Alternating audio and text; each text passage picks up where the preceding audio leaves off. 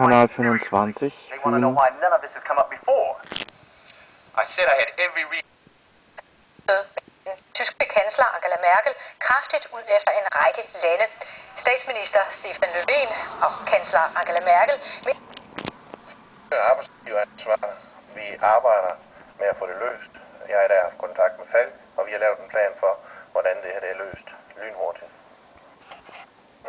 Eller ikke. Men, altså, men altså, det er i hvert fald noget, der, der, der rører sig i samfundet. Så, var- så var det da i hvert fald lavet.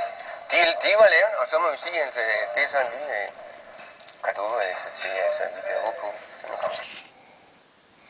Nej, du vil jo ikke de mig pillerne. Jeg kunne lige så godt arbejde. Er ude efter.